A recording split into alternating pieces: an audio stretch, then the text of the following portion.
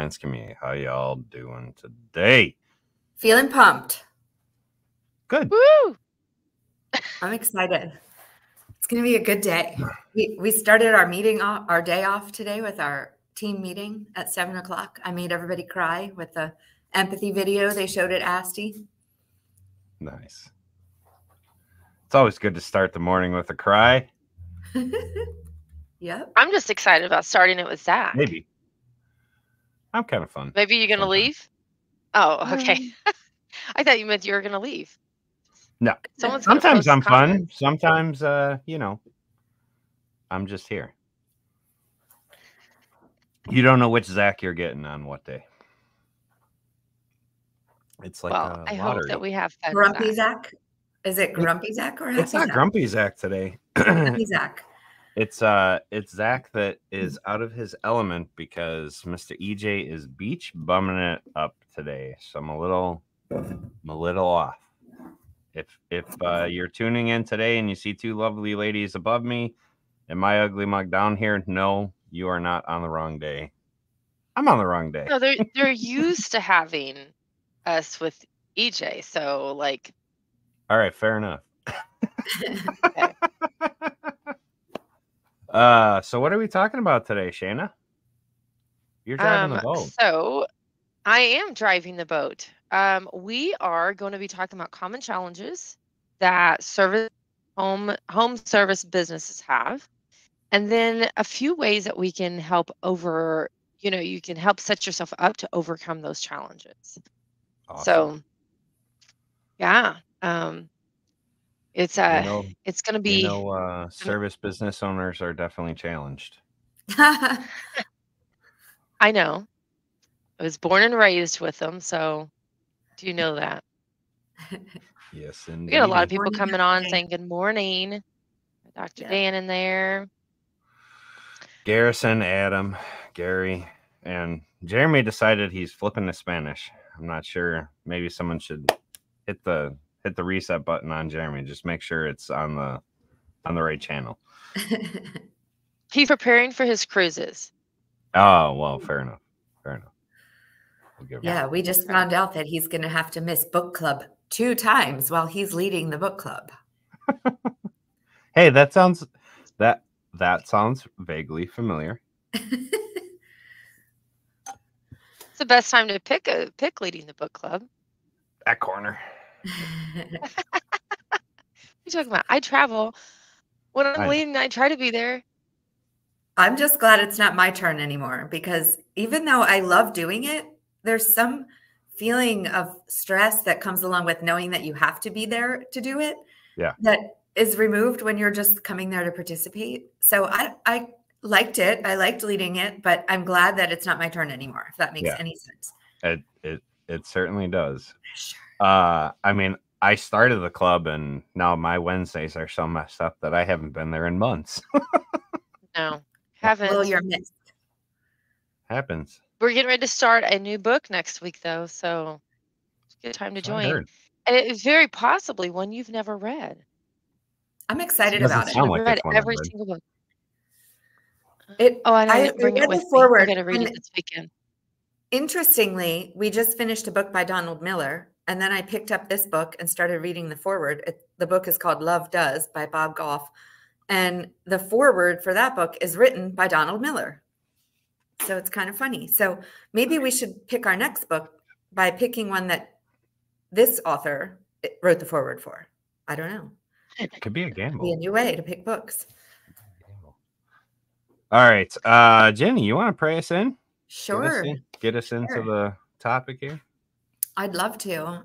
Um, since we had our beginning of our day with um, an empathy video, um, that might influence my prayer a little bit. So, Mm. God bless this day. We're so grateful for just another day to serve your people.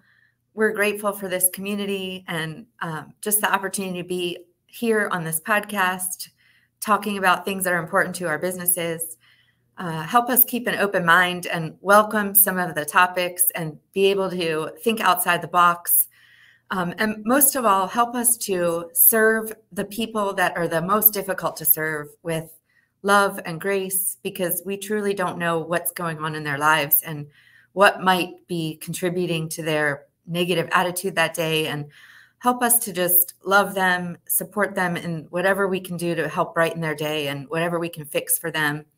Um, help us do it with love and patience. And that we don't bring any negative energy to the next person that we're serving. Um, we ask all of this in the name of the Father and the Son and the Holy Spirit. We love you. We we ask your blessing on our day. Amen. Amen. Ma'am. Mm. I am going to be reading from Proverbs 13 20. Whoever walks with the wise becomes wise, but the companion of fools will suffer harm.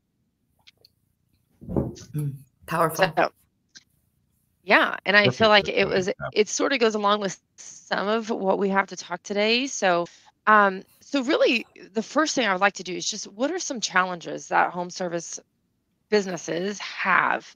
Um Ginny, what is one that you can think of right off the bat? And if you are listening, you can go ahead and put them inside of the, the chat. Love to hear from you guys. What are some of the challenges that you feel that um, is is out there for for you? For us specifically, we're in an area that doesn't have a parts supplier right next door that we can pop in and grab a part that we need. So, one of our challenges is identifying what things we can keep on the trucks for first call completes and with being efficient with parts management because we know that that black hole can actually put somebody out of business in this industry. So, um, we're not in a major city, we're in a suburb, and the closest uh, parts shop that you could walk right into is Raleigh. So that's two hours from us. Um, I know we're not alone in that, but there's a lot of people in metropolitan areas that have that luxury. They can just pop in, but there there are a lot of companies that have a real challenge with parts management. Zach, what do you think? What is what is a challenge? Oh, I know the number one challenge um, Okay, what is that? for for every single service business is not knowing your numbers, and really that goes through to any business. I was just talking Yeah. with uh, my tile setter yesterday, and we were running through some of the stuff and just just going over life and business in general. And I've sat with him in his office and gone like, okay, here's how much it costs to do business. Here's how much it costs to, you know, run your truck. Here's how much it, you know, and so we broke his numbers down. He's like, dude, I've never gone that far into my numbers, right? I said, well, that is how you set your goals. If you know at least roughly what your averages are and roughly what your costs are, if you the number one thing is know your numbers. It doesn't matter what industry you're in. We were talking about it in the roofing office. We're sitting there and he goes, guys don't know their numbers, right? Like they don't know their numbers, so they can't set. Their profit margin accordingly. They can't set their targets accordingly. Um, and and I saw it in full. It's across every service industry. I don't care what what industry it is. People don't know their numbers, and the minute you can grab hold on it, um, the better off you are, right? So in the appliance repair, I did not know my numbers. I moved to flooring. I learned to figure out them numbers really quick because I knew that would make me successful. I came into roofing. Yeah. I can tell I can tell you how many roofs it's going to take to buy the new truck that I want to buy. Because I know my numbers. I can set those goals. I can look ahead and then I can extrapolate out how many phone calls do I got to make? How many emails do I got to send? How many letters do I got to mail? You know what I mean? So knowing your numbers, it doesn't matter the industry. That is number one. You could be Shayna and not know your numbers, and it would be a big problem, right? It's it is the biggest thing that all Yeah. business owners face. And Well, and I, I feel that it's an easy one. It's an easy one to just forget about because you have so much other things on your plate to not to not keep that in front of you. So Dan says Mm-hmm. once you have your foundation set and know your numbers, finding and and training techs is big as well. One hundred percent. Mhm. You can't do What that gonna until you know your numbers. Like all this is Right. building. All You- this yeah. is building on each other. I love it. you don't even know Yeah. if you can afford to hire somebody and pay them a salary if you don't know your numbers. But taking a step backwards from that, before you can even look at your numbers, you have to be capturing that information somewhere. So you you can't be just like using your credit card all the time and or whatever and like money's coming in money's going out you need to have some type of bookkeeping software and or even an excel spreadsheet but you need to be capturing that information before you can even look at it so that is like the very first step well, and it's you know, you get some owners they'll try to guess. Well, I think my revenue is this, or I think my percentage of material is this. You can think all you want, but where is the actual true data for sure? Mhm. One hundred percent. Um, what some other challenges I was thinking of, like even like challenges of working with family versus you know someone that you can just get rid of if things do, if things go awry um you know ha- you work with your spouse ginny you know what that's like um I, i've Mhm. i've even got my son in our business now so another added challenge in there so um, being a third generation owner myself my um, my dad and my husband have gotten into plenty of fights over the years and i and i'm pretty confident i remember fights between my dad um, my uncle which was my mom's brother and my grandpa which was my mom's dad also like I remember one time my dad kicked my uncle out of the car and told him he could Oh, find wow. his own right way home. And this was, you know, back for you before you could call Uber. This was in the um, late 80s, early 90s. So, um, Well, so you know, your working spouse, with family. your spouse you're kicking them out of the bed It- it's worse than the car you're like get out of the bed You know, the the best piece of advice that I got when I got into the appliance repair, um, as I was being, you know, kind of groomed to take over the business, he looked at me and he goes, Don't hire family. Just just just just just don't. Just don't. I've done it. Don't do it. You know, this is a guy who's been doing appliance repair for 40 years and he, he's sitting there and he's just got like he was always a very cheerful guy and he's like just just don't just just don't hire family just, funny just thing for don't us, do it for us, we have a VP that now, like she is absolutely amazing. She literally sits between me and Jason in our office. She's a mediator between the two of us whenever we need to talk and we're struggling to find the right words. Um, and she's also the mediator between our son and Jason too, Mm. because they're a lot alike, and so they they can butt heads. i see they don't know jason as the talk to each problem then it seems like everybody needs a mediator between themselves and jason i'm just kidding Basically. jason i love you Um, and then some other challenges of um, do you have systems set up for technicians? You have systems set up, up in place to be able to run those calls and make profit while you're out on the calls? So there's lots and lots of challenges that that we have. Um, slow seasons. Oh my goodness, you know, and slow seasons are in every single industry. Our slow season for electrical was December, January, and February and then people start getting their taxes back and that's when they start doing the changing out of the light fixture or remodeling their home with the electrical whatever it may be so every industry has slow seasons and so even overcoming some of those um, but there are systems in place and that's what i want to talk about today there are things that you can actually put in place to help you to be able to um, overcome some of those challenges, but also have support systems put in place so that when you do have a challenge, you're not trying to figure it out on your own because any challenge that you come across is not going to be a new challenge. More than likely, every challenge you've had, one of us, if not all of us, have had. Um, so the first one is actually establishing strong support systems. So, um, first, why, Zach? I, I know this is one for you. Why do you feel that having a strong support system, like what can a strong support system do for you for your company? yeah so um i mean i let's let's go back to the last two weekends for me right? Um in the roofing industry we door knock a lot right? So the first saturday i was in a neighborhood it was a really great neighborhood i already i got 10 houses in that neighborhood and they're you know all at varying stages. So i go to door knock that saturday i'm like ah, it should be good. Man i was just defeated after that right? So I call my wife up and I'm like, this door knocking's going like crap. This neighborhood is dead. And like they want to see these houses done before they even want to look at me. And she she walked through it and she goes, Listen, you know, you're working hard for our family. Here's where your goals are. And she kind of reframed that focus for me. And so it's like, okay, that's the, the pump up I needed. So I pick up the phone, I call um I call a home inspector that I had worked with before through BNI almost seven years ago.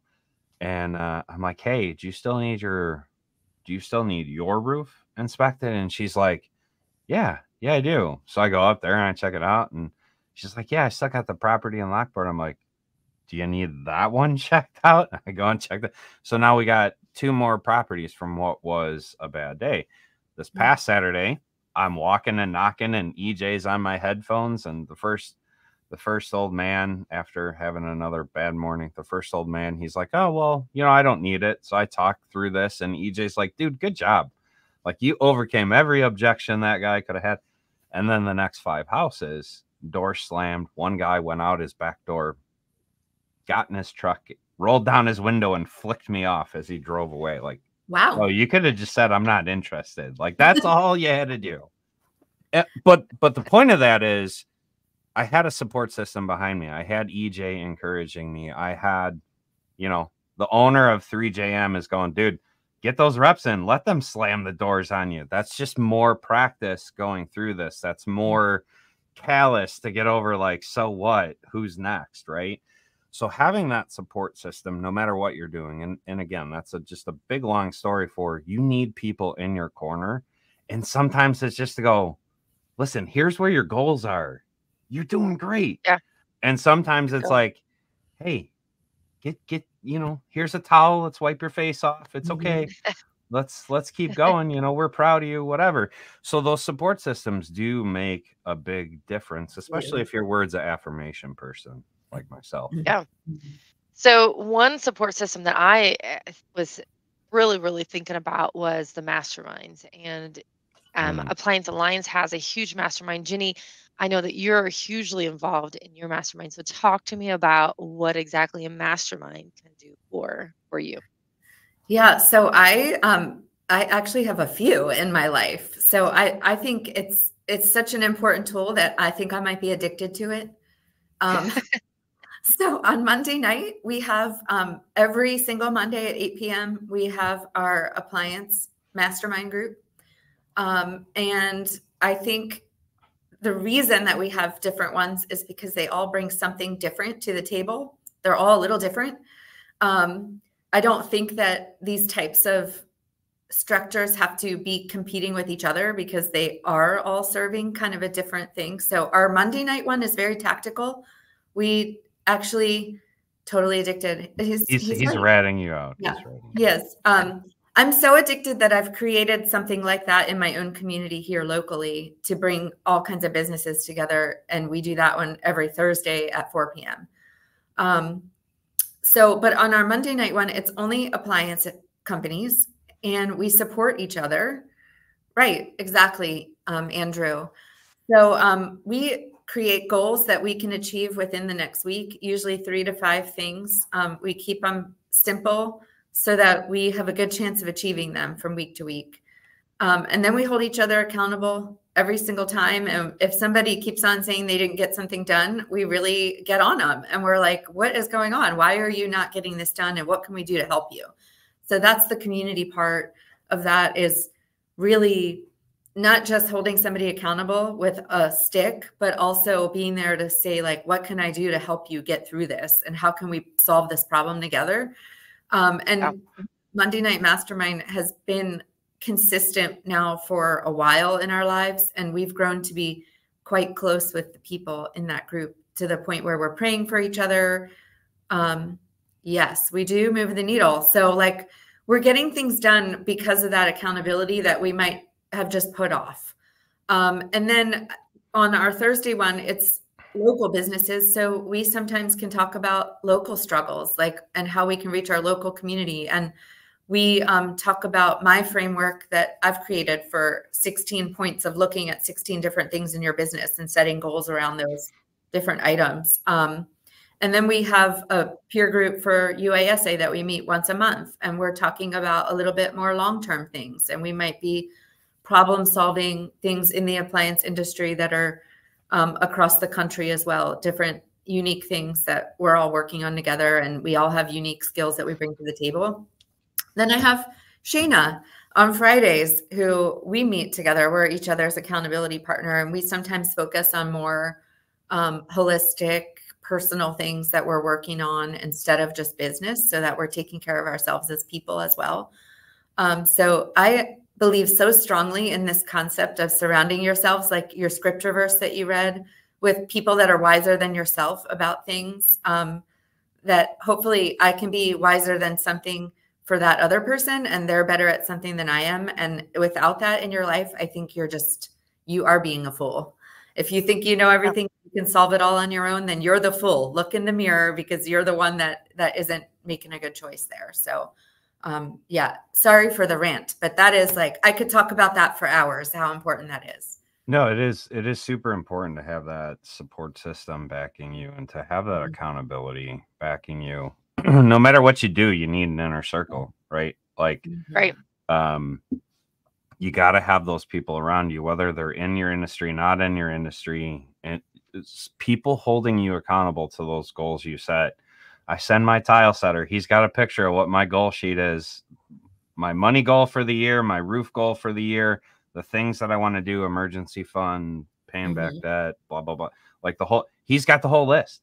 And so hey how you doing?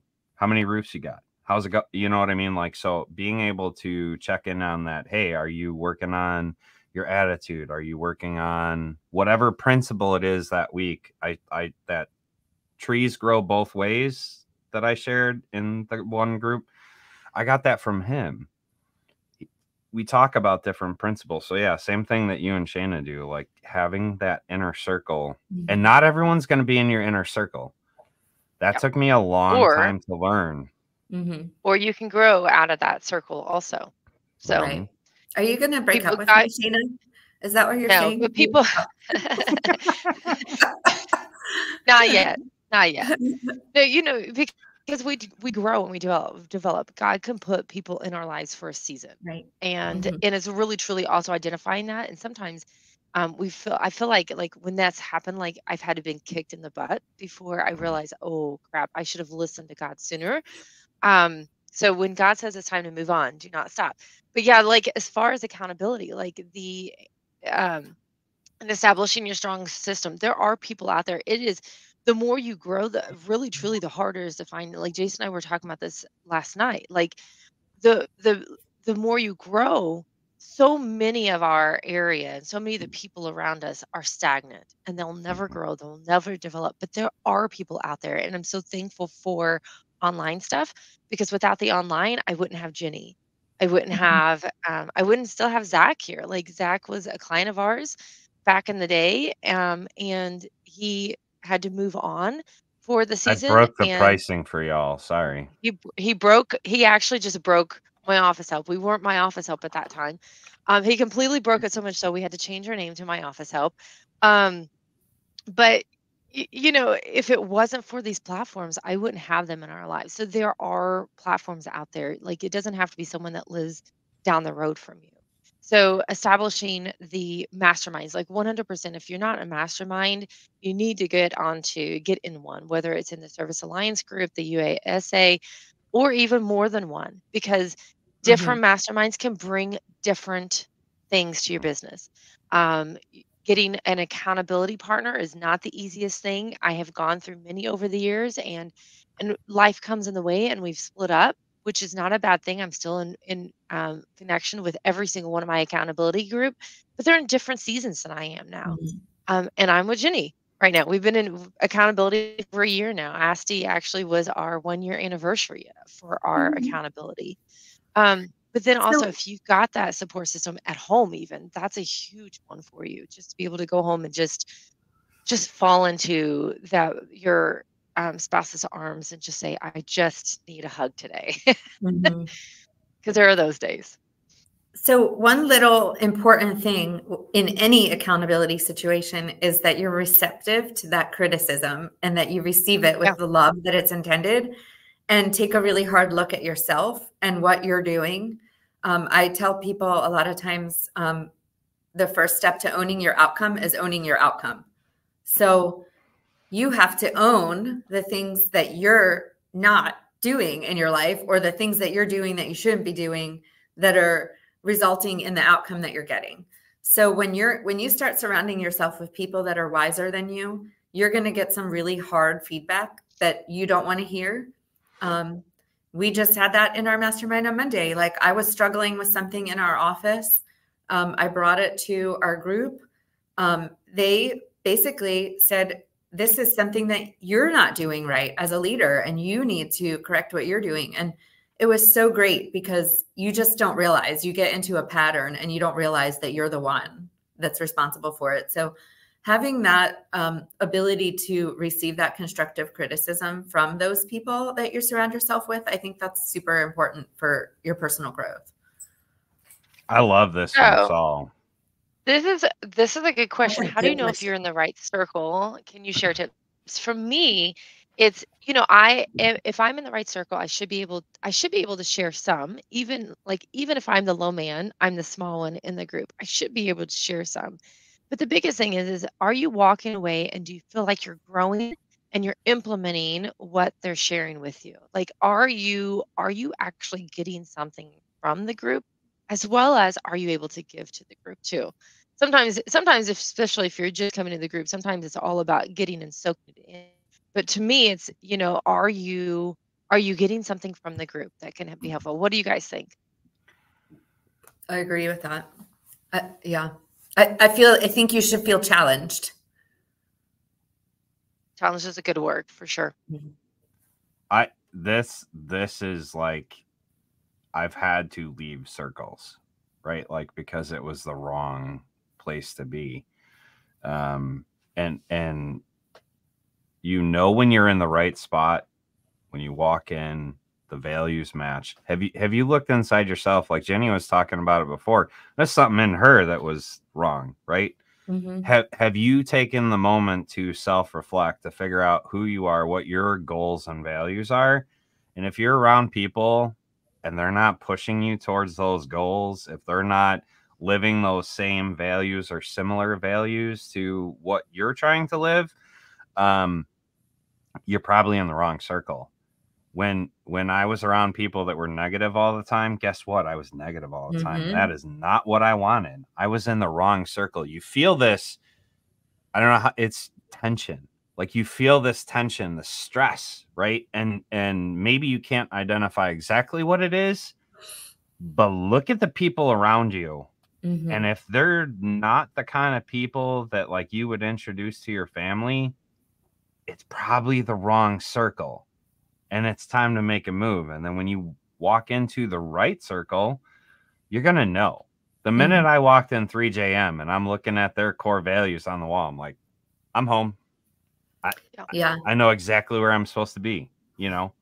just don't leave a circle and don't and not get back in one. It's really truly about because there's been times i'm like i need accountability and i struggle to sort of pick and choose one and it can go the, the same for being in a circle in a mastermind. Um but you need that. Like i needed that. So so don't don't just leave one without the intention of and the actual view um like it's right there i'm going to get into another one what do you say? For me, I'm not on, and not only am I getting something, but what I can bring to the table as well. Most of the time, I feel I can take more than I could ever give, but I hope I do bring something to the table. I'm sure. and that do. is a good indicator too. As soon as you start giving way more and all of a sudden you're getting zero out of it, you need to find at least another table to sit at Yes. because at Yeah. that point now you're the one that's guiding everyone else and so you need Need- to be fed somehow too so you have like you almost have to have that overlapping circle when you get to that point Mhm. Yep. um, and if you find that that table that you're the one giving and they're not learning leave it it's time to leave it It's if great. they if they Yeah, are not great to be a embracing mentor. yeah Yeah, If I think not that's a really good you be gotta a point. leave. mentor. Like it's okay if you become the one that is leading the group, but you have to make sure that you're also somewhere with people that are Yeah. further along than you so that you can be challenged. Um, I, I thought of something that Shayna and I talked about um, a few months ago, which is growth mindset versus fixed mindset. And for me, I think surrounding yourself with people in your group that are um, speak with love and and kindness, but also with really a growth mindset. If you have to have people that yep. are willing to continuously improve and grow, or you will get stuck.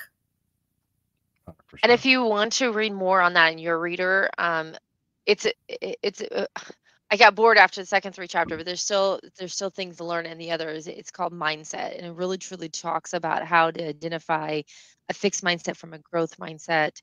Um, although we typically still bounce between the two, but um, it is a great book.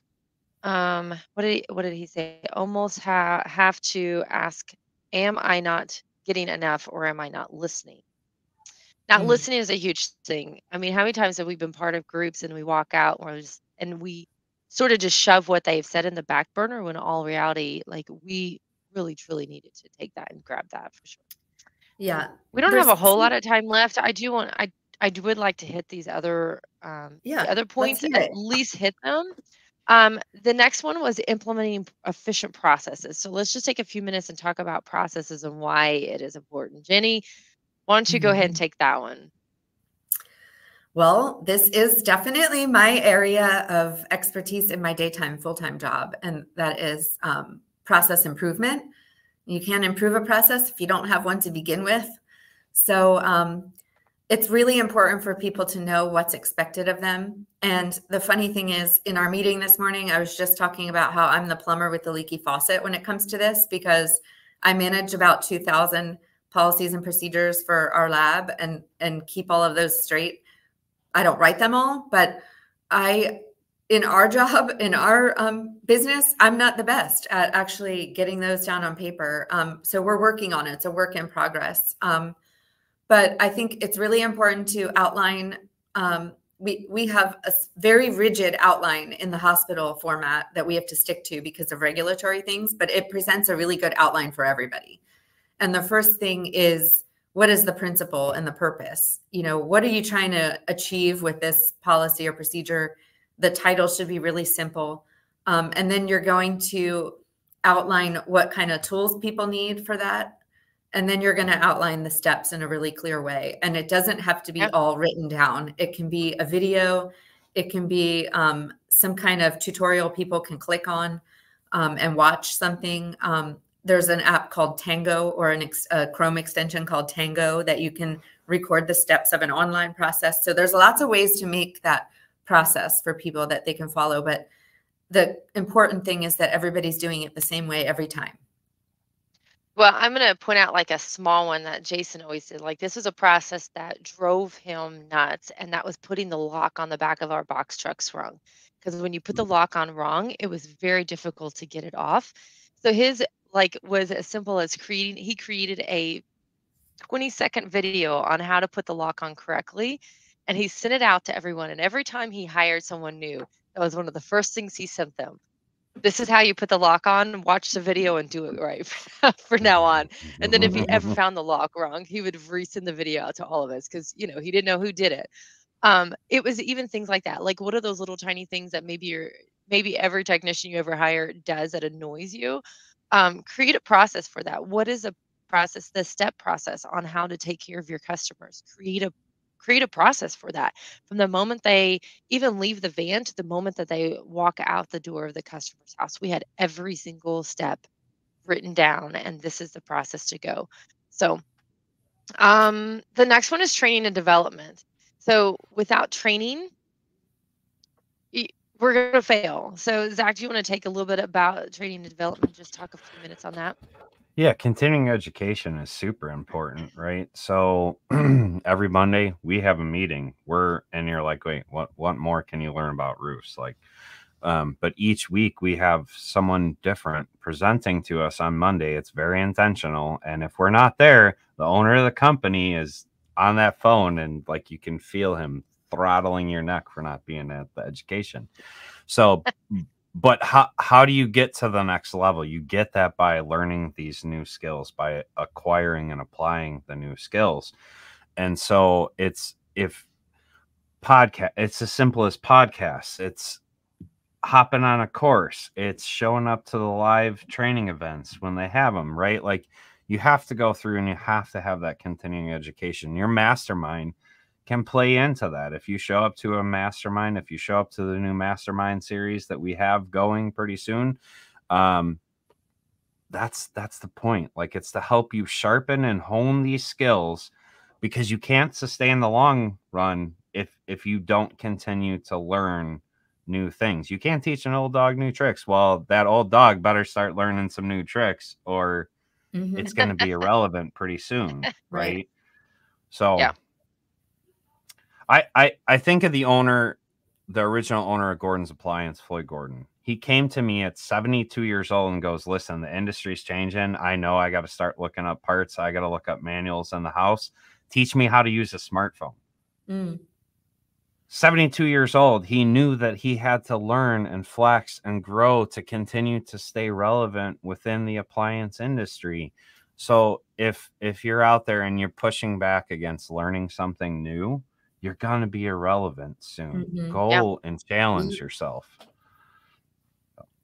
So the last one is yep, 100%. percent The last one is monitoring and adjusting and we and Zach hit this up earlier like knowing your numbers like if you don't know your numbers and you don't you're not monitoring them and numbers are everything from what is your percentage of, of rev what's your revenue what's your mm-hmm. percentage of material what's your percentage of labor to any kind of kpis what's your technicians closing rate what is their average ticket um, what's your csr's closing rate anything at all whatever the mm-hmm. kpis are and and all of these the monitoring and adjusting the training and development the implementing system processes it all rolls back that if you have a mastermind in place, if you have a support system in place, they can be there to help you.